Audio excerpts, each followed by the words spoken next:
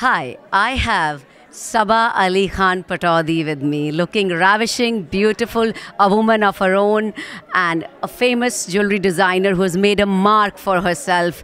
Hello, Saba. Great to have you. Thank you so much, and thank you for having me here tonight. You look lovely. What are you wearing? I'm in fact wearing one of my favorite Rohit Bal outfits. I love his collection, and this is one of my favorites tonight. So, Film Festival is very excited to have you. Do you have a message for us, the team, and for Boston?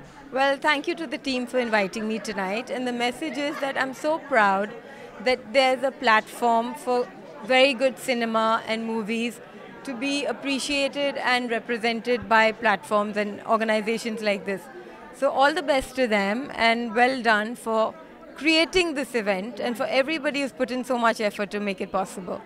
We work very sorry, Saba. We work very, very hard. I can see that. So well done.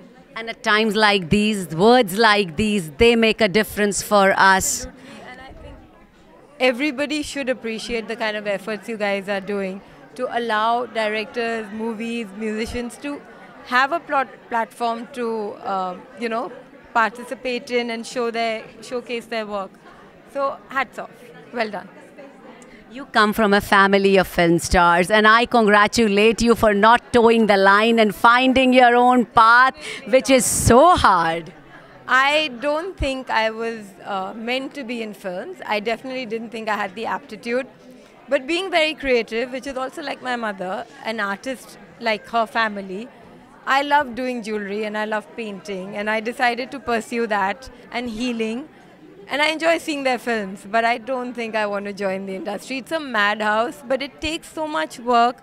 And I think my siblings and my mum is good enough to do that. I take after my father a lot as well, so keeping it quiet. We are happy that you took your own call, and thank you so much, Saba. It's a real pleasure to have you. Thank you so much.